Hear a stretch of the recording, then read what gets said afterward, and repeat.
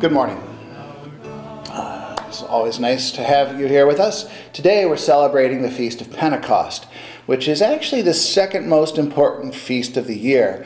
Easter comes first, then Pentecost, then probably Christmas.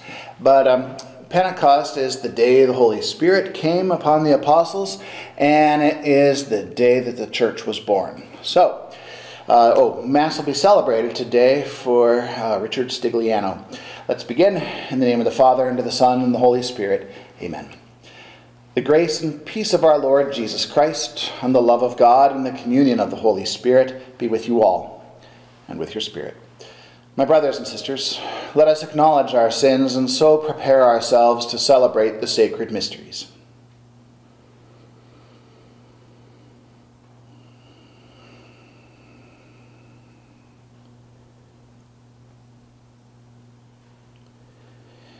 You raise the dead to new life.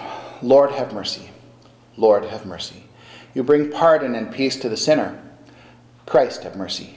Christ, have mercy. You give light to those in darkness. Lord, have mercy. May Almighty God have mercy on us, forgive us our sins, and bring us to everlasting life. Amen. Glory to God in the highest, and on earth peace to people of good will. We praise you, we bless you, we adore you, we glorify you, we give you thanks for your great glory. Lord God, heavenly King, O God, Almighty Father, Lord Jesus Christ, only begotten Son, Lord God, Lamb of God, Son of the Father, you take away the sins of the world, have mercy on us. You take away the sins of the world, receive our prayer. You are seated at the right hand of the Father, have mercy on us. For you alone are the Holy One, you alone are the Lord, you alone are the Most High, Jesus Christ, with the Holy Spirit, in the glory of God the Father. Amen. Let us pray.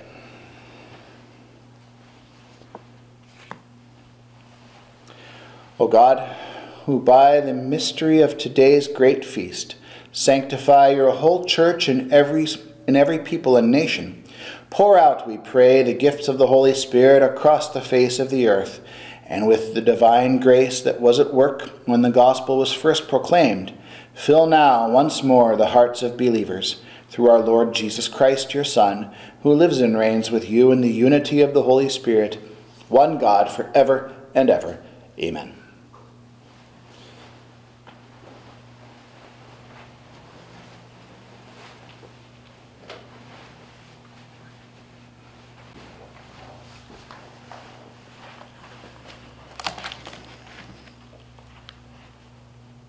A reading from the Acts of the Apostles. When the time for Pentecost was fulfilled, they were all in one place together. And suddenly there came from the sky a noise like a strong driving wind, and it filled the entire house in which they were. Then there appeared to them tongues as of fire, which parted and came to rest on each one of them. And they were all filled with the Holy Spirit and began to speak in, in different tongues, as the Spirit enabled them to proclaim. Now there were devout Jews from every nation under heaven staying in Jerusalem. At this sound, they gathered in a large crowd, but they were confused because each one heard them speaking in his own language. They were astounded, and in amazement they asked, Are not all these people who are speaking Galileans? Then how does each of us hear them in his native language? We are Parthians, Medes, and Elamites, inhabitants of Mesopotamia, Judea and Cappadocia, Pontus and Asia Phrygia and Pamphylia, Egypt and the districts of Libya near Cyrene, as well as travelers from Rome, both Jews and converts to Judaism, Cretans and Arabs, yet we hear them speaking in our own tongues of the mighty acts of God. The word of the Lord. Thanks, Thanks be to God. Our responsorial psalm is Lord, send out your Spirit and renew the face of the earth. Lord, send out your Spirit and renew the face of the earth. Bless the Lord, O my soul. O Lord my God, you are great indeed. How manifold are your works, O Lord! The earth is full of your creatures. Lord, send out your Spirit and renew the face of the earth. If you take away their breath, they perish and return to their dust. When you send forth your Spirit, they are created, and you renew the face of the earth. Lord, send out your Spirit and renew the face of the earth. May the glory of the Lord endure forever. May the Lord be glad in his works. Pleasing to him be my, be my theme. I will be glad in the Lord. Lord. Lord, send out your Spirit and renew the face of the earth. A reading from the first letter of St. Paul to the Corinthians. Brothers and sisters, no one can say Jesus is Lord except by the Holy Spirit. There are different kinds of spiritual gifts, but the same Spirit. There are different forms of service, but the same Lord.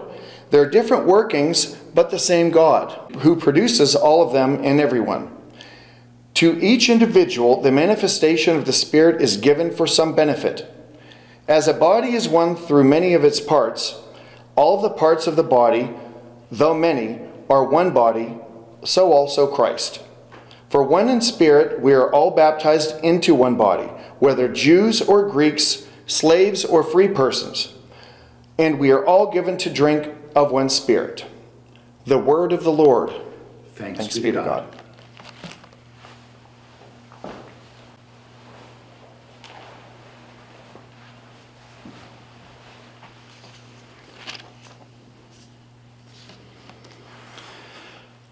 Alleluia,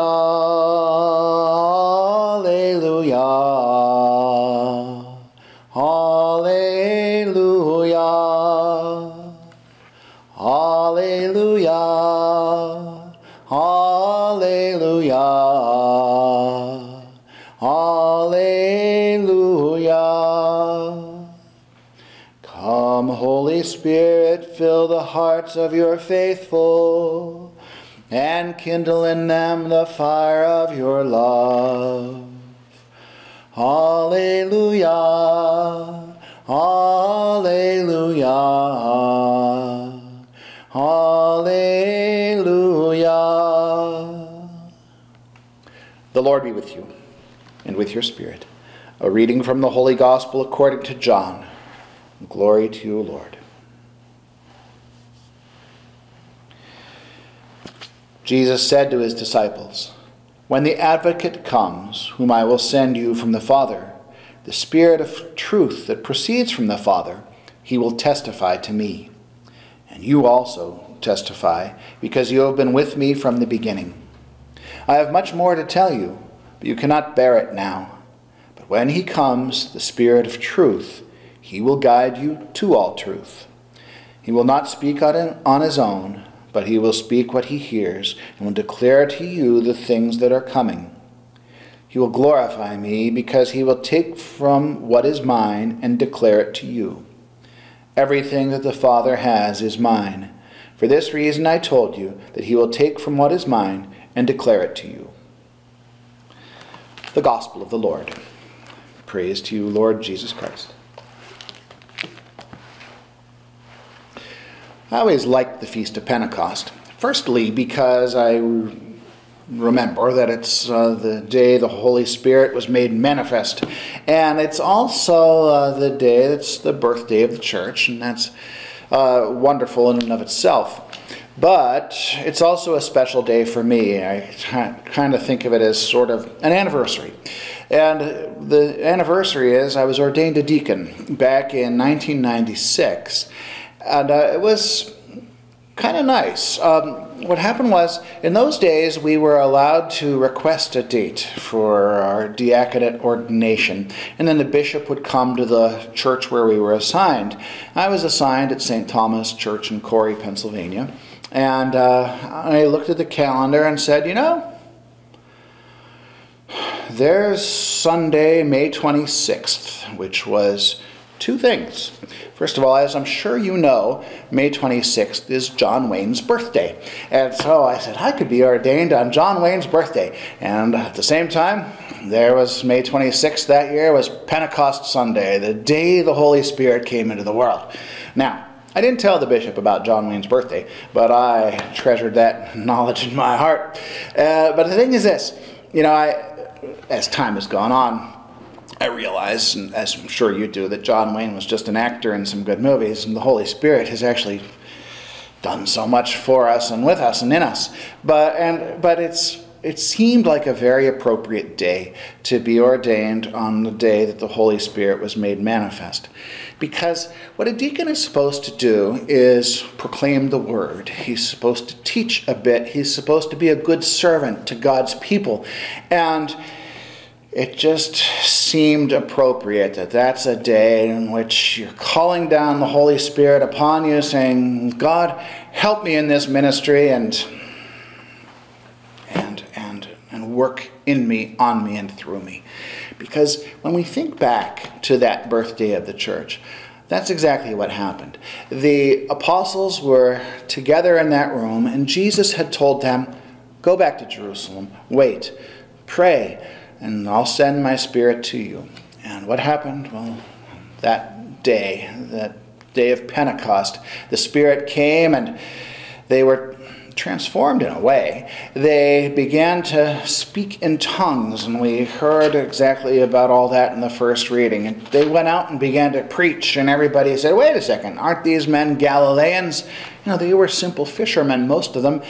But. Uh, we all hear them speaking in our native tongues, and we are Parthians and Medes and Elamites and inhabitants of Mesopotamia, Judea and Cappadocia, Pontus and Asia, Phrygia and Pamphylia, Egypt and the districts of, of Libya near Cyrene, as well as travelers from Rome.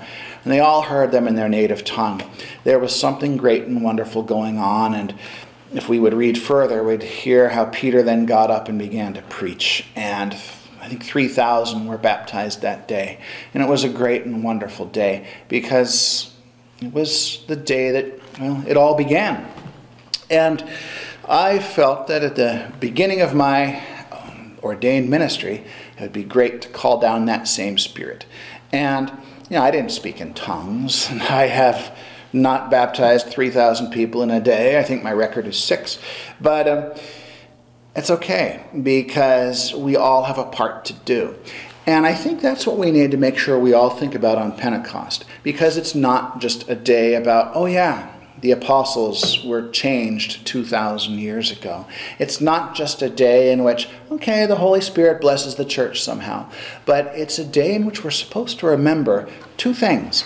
One, we all share in that mission. The mission is to make the world a holy place. The mission is to make the world a better place. The mission is to share what it is we believe and help others come to see the light, to understand what Jesus has done for them, what God is willing to continue to do for them, and have them appreciate all that and come to a deeper faith that allows them to go forth and change the world too.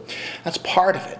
But also, uh, what we need to remember as we celebrate Pentecost is that same Spirit that so transformed the apostles can transform us too. We've been given that same gift of the Spirit in baptism and confirmation, and we've been promised that if we remain open to God, open to His promptings, He'll fill our hearts with that Spirit and well, our lives will be different. Our lives will be better. Our lives will be holier. And then they'll probably be happier as well. So, what we want to make sure we remember on Pentecost is that we have this great mission, that we're part of something wonderful, that we're part of Jesus' plan for the salvation of souls. And we need to make sure that we keep asking, What can I do? Where can I help? How can I be the good messenger, the good witness, the good evangelist that I'm called to be. In the name of the Father, and the Son, and the Holy Spirit. Amen.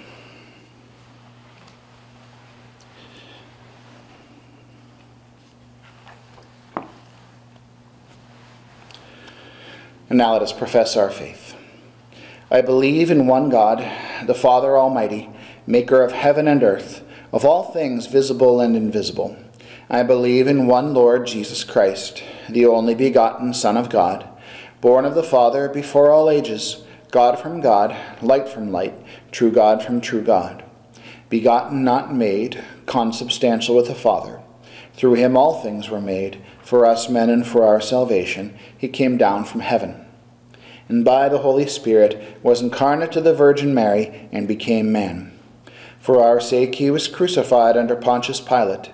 He suffered death and was buried, and rose again on the third day in accordance with the Scriptures. He ascended into heaven and is seated at the right hand of the Father. He will come again in glory to judge the living and the dead, and his kingdom will have no end. I believe in the Holy Spirit, the Lord, the giver of life, who proceeds from the Father and the Son, who with the Father and the Son is adored and glorified, who has spoken through the prophets. I believe in one holy Catholic and Apostolic Church. I confess one baptism for the forgiveness of sins, and I look forward to the resurrection of the dead and the life of the world to come. Amen.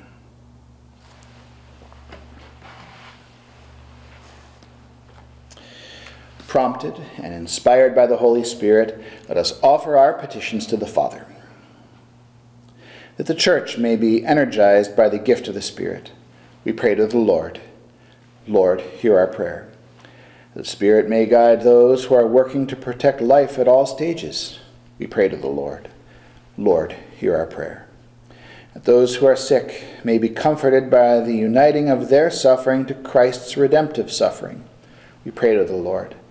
Lord, hear our prayer. That this community of faith may be blessed with increasing faith, hope, and love. We pray to the Lord. Lord, hear our prayer and for Dick Stigliano, for whom this Mass is being offered, and for all those who have died, that they may soon rest in the eternal peace of Christ. We pray to the Lord. Lord, hear our prayer. Heavenly Father, hear us as we place our prayers before you and answer them according to your will. We ask this through your Son, Jesus Christ, our Lord. Amen.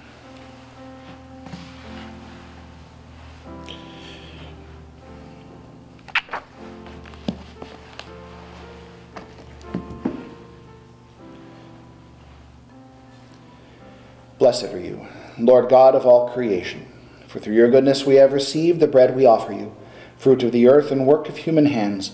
Will become for us the bread of life. Blessed be God forever.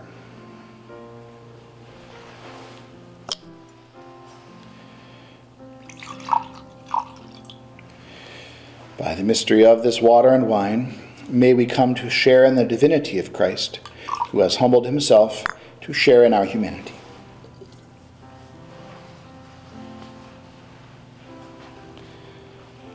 Blessed are you, Lord God of all creation, for through your goodness we have received the wine we offer you, fruit of the vine and work of human hands.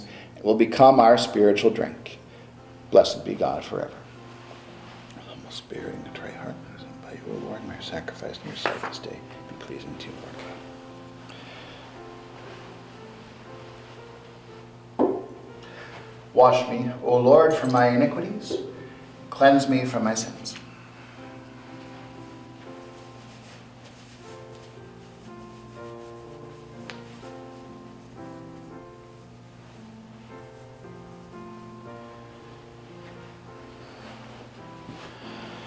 Pray, my brothers and sisters, that my sacrifice and yours may be acceptable to God, the Almighty Father.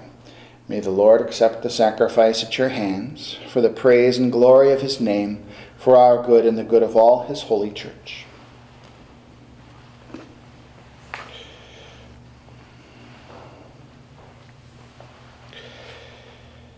Grant, we pray, O Lord, that as promised by your Son, the Holy Spirit may reveal to us more abundantly the hidden mystery of this sacrifice and graciously lead us into all truths through Christ our Lord.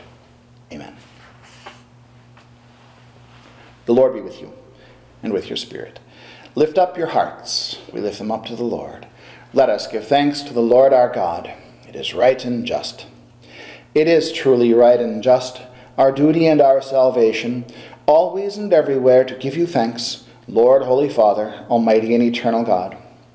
For bringing your paschal mystery to completion, you bestowed the Holy Spirit today on those you made your adopted children by uniting them to your only begotten Son.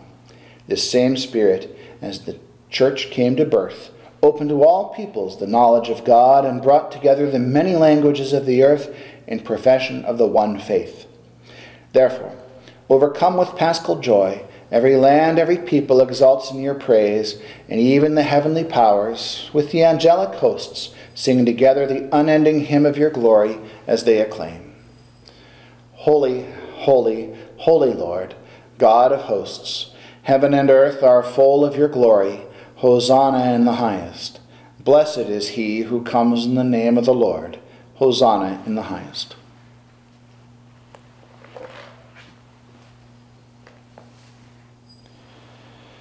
You are indeed holy, O Lord, the fount of all holiness.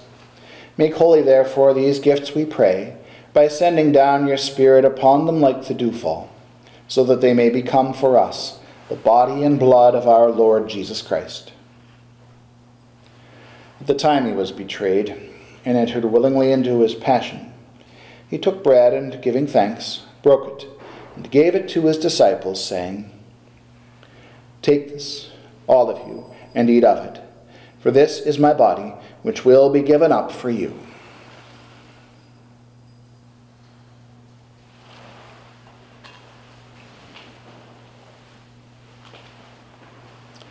In a similar way, when supper was ended, he took the chalice, and once more giving thanks, he gave it to his disciples, saying, Take this, all of you, and drink from it, for this is the chalice of my blood, the blood of the new and eternal covenant, which will be poured out for you and for many for the forgiveness of sins. Do this in memory of me.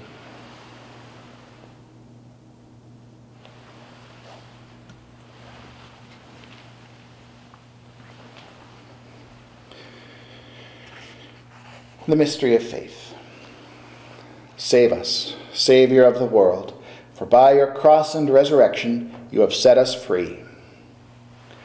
Therefore, as we celebrate the memorial of his death and resurrection, we offer you, Lord, the bread of life and the chalice of salvation, giving thanks that you have held us worthy to be in your presence and minister to you. Humbly we pray that partaking of the body and blood of Christ, we may be gathered into one by the Holy Spirit. Remember, Lord, your church spread throughout the world, and bring her to the fullness of charity, together with Francis our Pope, and Lawrence our Bishop, and all the clergy. Remember your servant, Dick Stigliano, whom you have called from this world to yourself. Grant that he, who was united with your Son in a death like his, may also be one with him in his resurrection. Remember also our brothers and sisters, who have fallen asleep in the hope of the resurrection, and all who have died in your mercy Welcome them into the light of your face. Have mercy on us all, we pray, that with the Blessed Virgin Mary, Mother of God, with the blessed apostles and all the saints who have pleased you throughout the ages, we may merit to be co heirs to eternal life, and may praise and glorify you through your Son, Jesus Christ.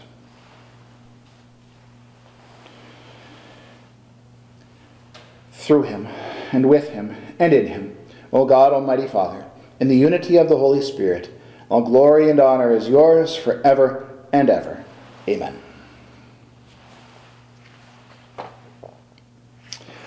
The Savior's command, informed by divine teaching, we dare to say, Our Father, who art in heaven, hallowed be thy name. Thy kingdom come, thy will be done, on earth as it is in heaven.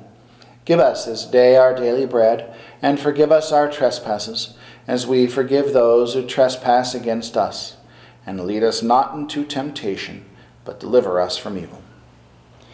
Deliver us, Lord, we pray, from every evil. Graciously grant peace in our days. By the help of your mercy, may be always free from sin and safe from all distress, as we await the blessed hope and the coming of our Savior, Jesus Christ. For the kingdom, the power, and the glory are yours, now and forever. Lord Jesus Christ, who said to your apostles, Peace I leave you, my peace I give you. Look not on our sins, but on the faith of your church, and graciously grant her peace and unity in accordance with your will, who live and reign forever and ever. Amen. The peace of the Lord be with you always, and with your spirit. And now let us offer each other a sign of peace. Peace be with you. Lamb of God, you take away the sins of the world, have mercy on us.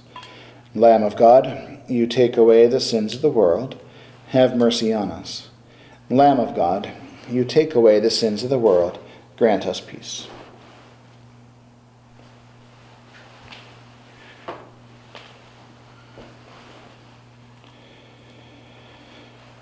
Behold the Lamb of God. Behold him who takes away the sins of the world. Blessed are those called to the supper of the Lamb. Lord, I am not worthy that you should enter under my roof, but only say the word, and my soul shall be healed. The body of Christ keep me safe for everlasting life.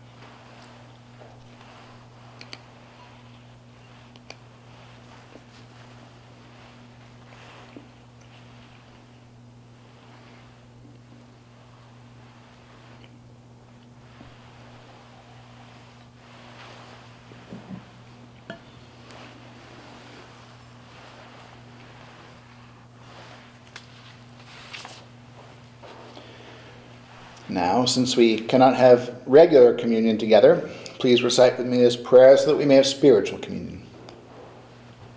My Jesus, I believe that you are present in the most holy sacrament. I love you above all things, and I desire to receive you into my soul. Since I cannot receive you at this moment sacramentally, come at least spiritually into my heart. I embrace you as if you were already there, and unite myself wholly to you. Never permit me to be separated from you. Amen. Let us pray.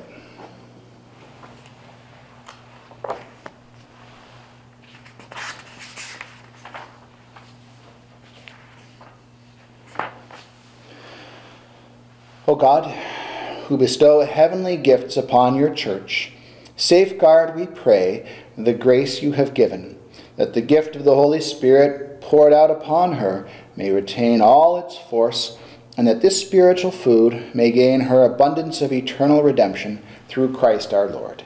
Amen. The Lord be with you, and with your spirit. May Almighty God bless you, the Father, the Son, and the Holy Spirit.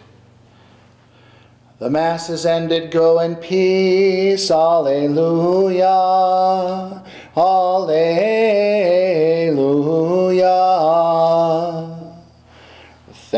Be to God. Alleluia. Alleluia.